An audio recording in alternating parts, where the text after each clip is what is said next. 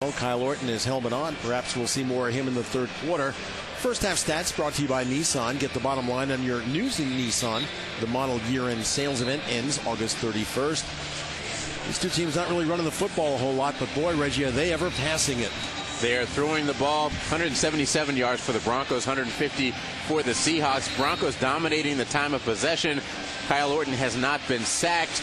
Uh, Broncos have a little bit more rushing yards, but the turnover, the one interception, and, and then the stall drive where they had to settle for a field goal, really hurting them. And so the red zone is a point of emphasis for Josh McDaniels.